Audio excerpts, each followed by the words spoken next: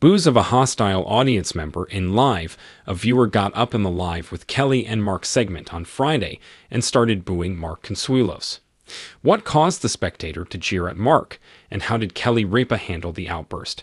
Continue reading to learn more. Recently, Kelly has started criticizing Mark Consuelos on television. She ridiculed Mark just last week for being too extra on a live program. She gestured to a cast that was missing from her husband's hand the day before. What's the matter with your finger? Kelly queried. I have been monitoring it. Your last day with the cast was last Friday, and I have it noted on my calendar. The presenter of Live with Kelly and Mark told his wife that his doctor recommended him to continue wearing the cast at specific periods of the day. Following a comparison between his wounded and uninjured fingers on one hand, Mark said that he would keep wearing the cast as a crutch.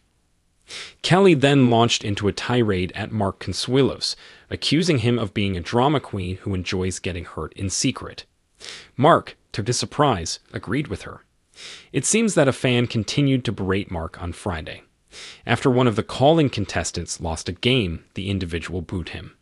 These games have been a component of Live since The Daily Show's early days, under Regis Philbin's hosting. The current name of the game is Stump Mark. A viewer phones in with a question intended to perplex Mark Consuelos every day. Should his guess be incorrect, the competitor will receive a prize. If Mark's guess is accurate, though, the competitor receives nothing. The spectator heckled the TV host on Friday during the Stump Mark game. Kelly Ripa revealed last week that her husband intended to extend his losing run.